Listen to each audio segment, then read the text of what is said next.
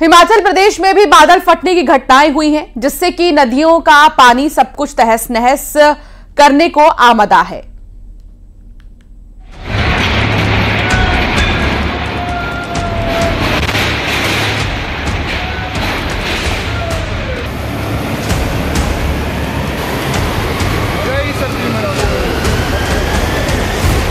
हिमाचल में बारिश का विस्फोट।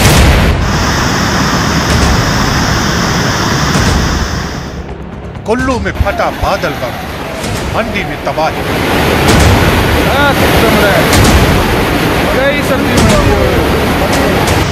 लहरों का कोहराम हिमाचल में त्राहिमाम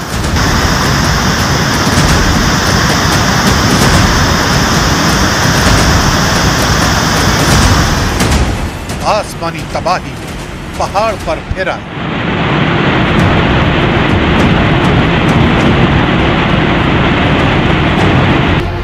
बादलों की दहाड़, मुसीबत में पहाड़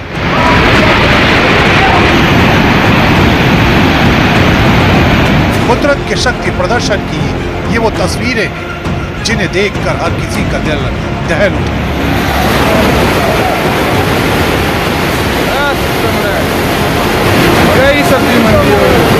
लहरों ने ऐसा कहर बरपाया कि देखते ही देखते एक विशाल का इमारत इन लहरों में समा गई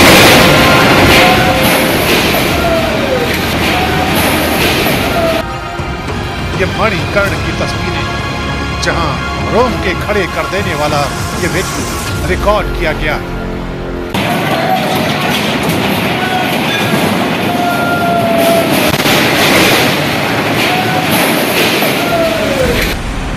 देखिए कैसे मूसलाधार बारिश के बाद आए सैलाब ने इस इमारत को ली लिया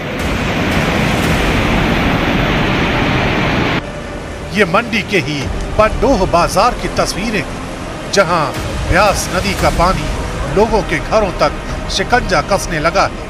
आलम ये हो चुका है कि डरे सहमे लोग सुरक्षित ठिकानों को तलाश रहे हैं और प्रशासन की तरफ़ से लगातार लोगों को सावधान रहने की हिदायत दी जा रही है। सनसनाती लहरें जिस रास्ते से होकर गुजरी, वहाँ एक झटके में सब कुछ तबाह हो गया। कुल्लू से आई ये तस्वीरें इस बात की गवाही देती हैं कि जब कुदरत कोहराम मचाती है तो सब कुछ अपने साथ ले जाती है।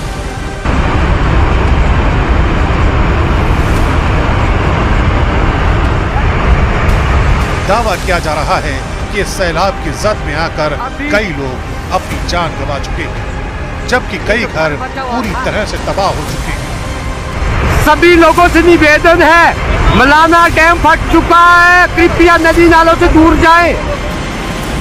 मलाना के इस हाइड्रो प्रोजेक्ट को ही देख लीजिए, जिसे रिवर बेड के रास्ते पर बनाया गया। लेकिन अब यह हाइड्रो प्रोजेक्ट कुदरत की पावर के आगे सरेंडर कर चुका है।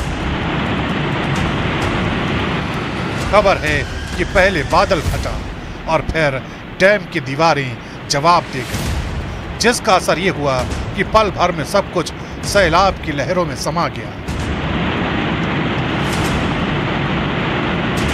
बागी पुल से आई ये तस्वीरें भी देख लीजिए, जहाँ प्रकृति ने ऐसा प्रहार किया कि दर्जनों गाड़ियाँ और घर अचानक आए बाढ़ की भेंट चढ़ गए।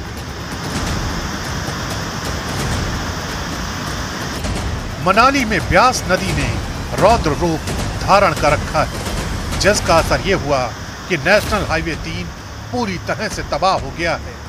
इतना ही नहीं, हिमाचल के कई जिलों में भारी से बहुत भारी बारिश का अलर्ट भी जारी किया गया है।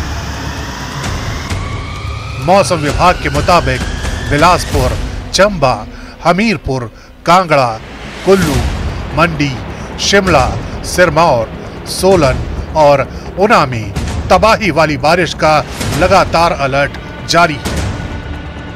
यानी हिमाचल में आने वाले कुछ और घंटे भयानक तबाही की ओर इशारा कर रहे हैं। यही वजह है कि लगातार लोगों से यही अपील की जा रही है कि न तो नदियों के पास जाने की कोशिश करें और न ही ज़्यादा अपने घरों से निकलें।